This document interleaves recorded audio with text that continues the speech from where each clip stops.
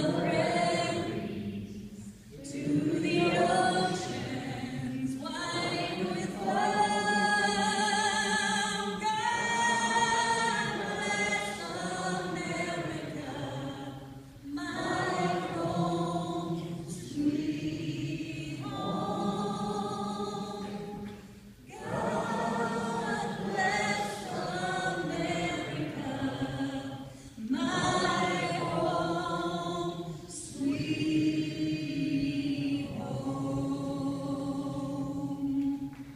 we offer a prayer for the active duty forces at this time.